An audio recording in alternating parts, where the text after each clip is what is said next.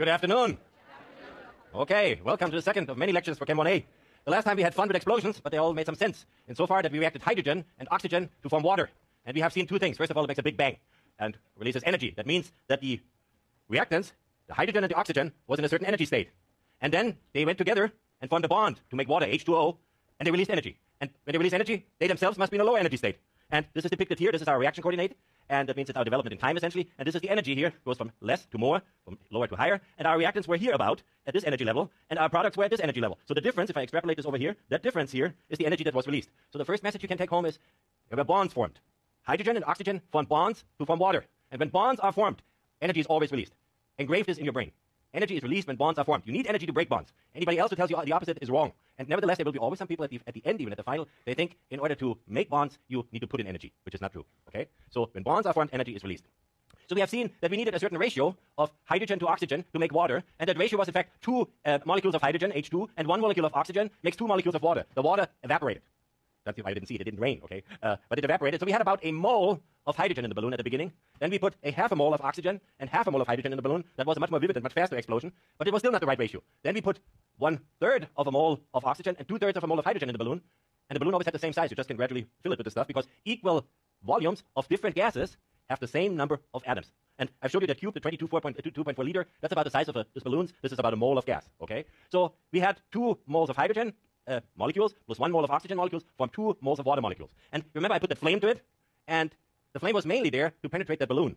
But we also needed a tiny little bit of energy to get the reaction started, to get a couple of hydrogen and oxygen uh, molecules over that hump. That's called the activation energy. And then think of it on a one-to-one molecular scale. They react with each other, and they release a little bit of energy, and that energy is picked up by the other molecules, oxygen and hydrogen, and they react with each other. And this is then a chain reaction. So I would need a very tiny flame for this, and I gave you that example when somebody flips the light switch in a room that is filled with oxygen and hydrogen. We all go boom, okay, and something more. So Now we had then talked about how we weigh this. With gases it was easy, but how we can weigh this. I need the right amount of this substance and the right amount of these molecules or, or atoms. How do I weigh that? So we knew, and this is has wise people have determined this, that 12 grams of carbon 12 have exactly a very, very large number of atoms, of carbon atoms. They have exactly one mole. One mole, remember our secret language, 6.022 times 10 to the 23rd carbon atoms are in one mole. And now, if I have something which is twice as heavy than carbon, then one mole would weigh not 12 gram, but it would weigh 24 gram. Okay, and so this is what you see here in the periodic table. These are the molar masses. That's what one mole, for example, one mole of oxygen is 16 grams. Okay, this is the molar mass, grams per mole. And so this is how we now we have this relative to each other. Now you can weigh this stuff, and you can do, do your reactions. And then at the end, I showed you how to lower that barrier, and this was not quite clear to some of you. We had a nozzle where there was hydrogen coming off, and then we had a piece of platinum. And Karen, she warmed this up a little bit. It was not glowing, the piece of platinum, just to get the reaction started. And she held a piece of platinum in front of the hydrogen nozzle, and what it did, it started to glow. Okay, and why did it glow? Because we made water, and the water reaction gave off energy when the water was formed, and it heated up that piece of platinum needs a lot of energy to heat up a piece of platinum. So this was a catalyst. This is how you lower the activation energy. This is how catalysts work, work and this is as much as you will hear about kinetics uh, in this lecture from me at all. We do thermodynamics. We deal with differences in energy, and this is a, a, whole load to deal with, actually. So I had this reaction here. I wrote this reaction for you. Hydrogen and oxygen react to water. Now I have one mole of hydrogen and two moles of oxygen. And I want to know which species has the greatest number of moles after the reaction is finished. So you're making water, and you might have something left over. Maybe you have hydrogen left over, or oxygen left over, or you have nothing left over, then this would be the largest number of species left. So think about this and give me your answer. So we did this already the last time, but some of you would like to think again about this. There it is, okay. So all you need to do, use this equation here. No talking. Don't cheat yourself. Okay? You can talk as much as you like, really, but uh, it's not a good idea. Talk afterwards. Second time, you really can talk. You discuss this. You convince your neighbor that you are right and he or she is wrong, or vice versa, actually. Or you both are right and both are wrong, actually, at the end. Uh, the bookstore, there's one bookstore which will have later today 50 or 100 extra books, and on Monday, the other bookstore, I can name names, will have another 100 books. And so what I will do, I will keep the homework open for another week, okay? And we start iClicker counting on Wednesday, not on Monday. Then everybody has the iClicker, everybody has the book. I'm for you, I'm on your side, okay? it's not about tricking, it's about learning for you, okay? Wait with the clapping. Wait a couple of lectures. You probably not clap anymore. oh, that's this Nietzsche guy. We hate him. I appreciate it, though. Thank you. Okay, let's see what we, what we have here. Very good. It would be pretty sad if you wouldn't get that. But nevertheless, I had a discussion. I had a discussion this morning, and they had this distribution. And I posed the question again. I said, it's not always the majority. I just said it. The, the word was always. So they totally got it wrong. they, they, totally sort of, uh, I don't want to use the word. They, they made a mistake. Okay, so let's see for those couple of people who accidentally pushed the wrong button. Uh, let's see, you have one mole of hydrogen and two moles of oxygen. But you need twice as much hydrogen than oxygen, okay? So if you have one mole and two moles of oxygen, so let's divide this, then you have one mole here, one mole of hydrogen, half a mole of oxygen. That's what you need. So how many moles of oxygen you have left over? One and a half. And how many moles of water do you make if you divide this by two? One mole. So the answer that, one, that you have the most left over, uh-huh, we have even a pictorial form here, and this is what we took off. Now, hydrogen was the limiting reagent. It limited the reaction. The reaction did not go further because we didn't have enough hydrogen. So that's called limiting reagent. And so this is what I just told you, and this was the answer. Just fantastic. Okay, today we're going to find out how we get these ratios. But first we talk a little bit about the atom and uh, itself. So there was this fellow Rutherford. He lived in the 20th century, beginning of the 20th century, and he was a physicist, and this was the time when they discovered how the nucleus is, how the atoms are made, there are electrons and nucleons and so on. And so at this 1919, they didn't really know that there was a nucleus. They sort of suspected it. They knew a little bit about electrons, and they made this one experiment. They had discovered radioactivity. Marie Curie and Becquerel and uh, Pierre Curie discovered radioactivity, and uh, they in the, in the end of the century. And so they are radioactive elements. And radioactivity means they spit out some particles from the nucleus. Okay, the nucleus is not stable. It wants to become stable. It has to get rid of some particles. That's what radioactivity is: instability of the nucleus. And so one possibility is they spit out or they emit from the nucleus. Just be more more uh, honed. Uh, they spit out helium. Helium nuclei. Helium is element number what? Two. And this is how many? Uh, this is the number of what? Two is the number of protons. And it's helium four. There's a four up there. What would that be? The number of nucleons. How many neutrons and protons you have? I get to this in a minute. So it has two neutrons and two protons. Okay. So this is why helium has the atomic number four, uh, atomic mass 4.00. See that? Four. And so he had this compound, and it spit out this helium. It radioactively decayed, to be precise or accurate. It radioactively decayed and emitted alpha particles, and these are helium, charged helium particles. And then he had a piece of gold foil. You, remember, you probably have seen this gold foil, which is so thin that you can look through, and they use it to gild, to put gold layers in churches and so on and so on. Uh, for rings, it's too thin. Okay. so that means now you have these positively charged helium particles, and you have that, that uh, gold foil. He put this in a frame, and around it he had a ring where he could sort of make scintillations. That means when the, these alpha particles stri- strike it, they give off the energy, and it's a light flash. Okay, so this is a, a luminescent screen there. You can see where the particles hit it. Wherever there's a light flash, the particle gets hit. And so, as you could expect, it's pretty thin that gold, and so the alpha particles they flew right through there. Okay, and so they made light flashes here, here, and here. Some got a little scattered, but then he's seen some of them came right back at him. They went to the front, and here, and here, and here. So that could only happen if there was a deflection due to charge of the, the gold foil.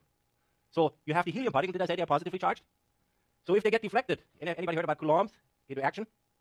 Nobody? Okay. Coulomb interaction, you have equal charges, they repulse each other. Okay. Opposite charges, they attract each other. So he's seen repulsion here, and he says, you know, this is so thin, this must be, we know that the electrons are negative, that must be the nuclei, they must be positively charged. And how right he was. The, that's all the protons, they are positively charged. With this, he assessed that you have a positive charge in the nucleus. Okay? So you also have a neutral charge in the nucleus. These are the neutrons. The protons, the positive ones, and the neutrons, the negative ones. So I just told you about this Coulomb repulsion, but you have in this nucleus, you have these positive charges. So the nucleus shouldn't be stable, shouldn't it? Because they should always fall apart. Any nucleus should fall apart. Why, why is it that the nucleus doesn't fall apart? Any of the in physics, anybody?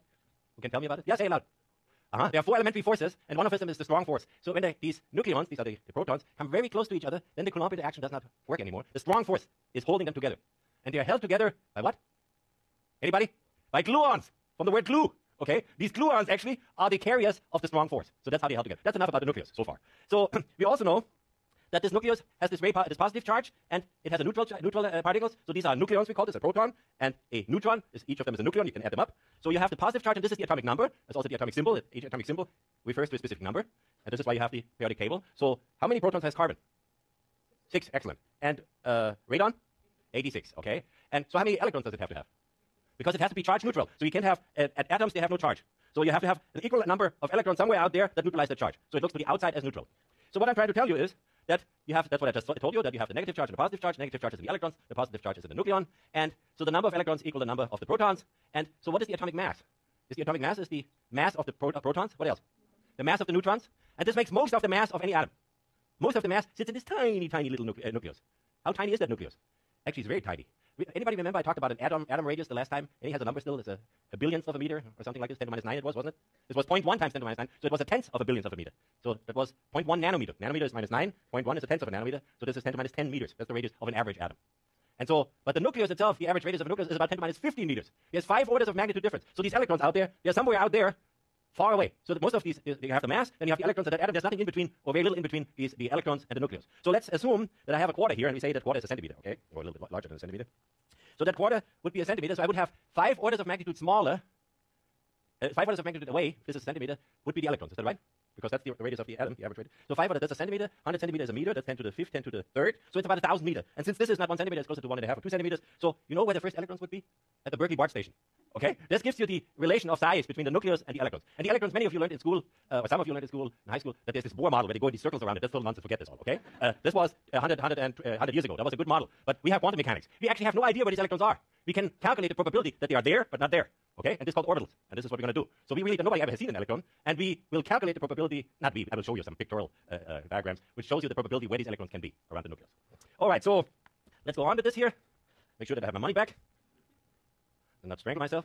Uh, so A is the number of nucleons, which is essentially the atomic mass. It's not quite, because the nucleons have each of them a mass around 1, okay? And, but the, the nucleon number is a whole number, but the atomic mass is not a whole number. And this comes, so the nucleon number is the number of protons plus the number of neutrons. That's the nucleon number, it's not the mass, essentially. So, and now you see the proton has 10 to minus 27 kilo. One proton weighs 10 to minus 27 kilo. That's why we define this AMU, that we don't have this 10 to minus 7 kilo. We say it's an AMU. You multiply this, with the, uh, you divide this by the AMU, then you get 1.00728 uh, AMU.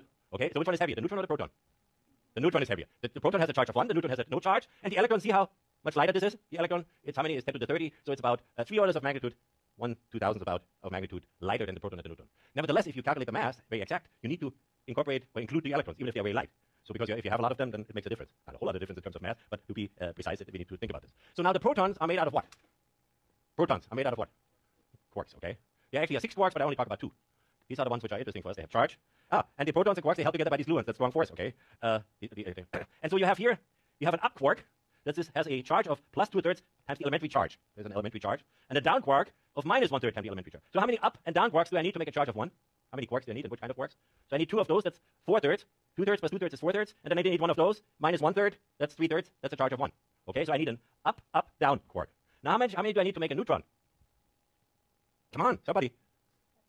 Yeah, okay. Two down, one up. Okay, there you go. Up, up, down. Up, down, down. That's a charge of zero. Okay? All right, so we have done this. And now you heard about isotopes. Isotopes are the same kind of element, but have the same number of protons, which de determines that's a specific element. So if you have six protons, it's always carbon. But you can have different number of neutrons. You have six neutrons, it's carbon 12. Seven neutrons, carbon 13. Eight neutrons, carbon 14. And you can do the same with oxygen. Oxygen, as you breathe it, has oxygen 16 and oxygen 18. So oxygen is what element? Eight. How many protons does oxygen have? Eight. So oxygen 16 has how many neutrons? And oxygen 18? 10, exactly. So which one is heavier? 18, okay? So now I make water. So this oxygen 16 and 18 is a natural ratio that exists here in our oxygen. So I make water. So I can make water H2O 16 and H2O 18. H2O 16 has what mass? 18 grams per mole. And H2O 18 has what mass? 20 grams per mole. So water which has oxygen 18 is heavier. So now if you have this, you can use this as a temperature probe, that ratio. Now, if you have a certain temperature and the temperature rises, more of the oxygen 18 will, will evaporate compared to when it's colder. And so we know that ratio of oxygen 16 and 18, and we can then somehow recalculate from that change in ratio what the temperature was. This is what climatology does. How could you do that? Where would you get these samples of water with oxygen 16 and oxygen 18? Where would you get that? In the ice. So far, it snows in Greenland, in the Arctic, in the Antarctica, it snows there. And this gives you a, a record for each year, or at that time when it snowed, it gives you a record what the ratio of H2O16 to H2O18 was, and many other isotopic ratios, of course. So what you do, you drill down there, 3,000 meters, okay, one three quarter miles, and deeper, and you pull this out as an ice core, and this looks like an ice core. This is an ice core. They have thousands, hundreds and thousands of meters of those, so they, cut, they drill this out, and of course they can't mix it up. They have to stack it properly that they know where the beginning and where the end is, and then they chop this up in segments, okay? And this ice core, it, it snows, the snow stays there, and then next season, snows again, snows again, snows again, snows again, so you get very many, many years back you can uh, date this. So, and of course, if you have enough snow on it, then it becomes ice due to the pressure. And there's also is uh, gases are trapped in there, CO2, for example, and other gases. So you, if you carefully do that, then you can also analyze for gases to get isotopic ratios. But I just give you the gist of the principle of this. That's how you can date things backwards. And see that obviously this is the Greenland uh, ice core. It was 1,800 meters, 1.2 uh, miles about deep, and you see the differences here. Of course, there's light shown on it. The differences between each year. So this is what you get you get, we go back 300,000 years, you see this is this, the temperature, this is what they correlate from these data, and this is the temperature, uh-huh, this is obviously the temperature in Antarctica in Fahrenheit, so these are the changes in temperature, there are uh, changes over 20, 20 uh, 2 degrees. So, uh-huh, this must have been a very hot area time, and then we got very cold again. That's one ice age, and the next one warmer again, and an ice age again, and now we are here, we're coming towards our time, so we're coming off an ice age here, and now we are going, getting hotter again. So, looks like we're getting here. Now, the question is, is this a natural thing, or do we contribute to this? And there are different people who have different opinions about this. I do believe in, in uh, global climate change to CO2, others don't, but on the other hand, I think it would be a good idea to do something about it now, and then we invent all kinds of new technologies. We save energy. We move our planet forward. And in 50 years, if the naysayers were right, we say, okay, we, we, we developed our world forward. If we don't do no, nothing, we do the same old thing, use our coal and fire it up and pollute the air, then uh, we have not learned anything. We have not done anything. So even if I would be wrong, and we will, you, probably will be able to tell this in 40 years, no problem. Okay, you'll be a young man still.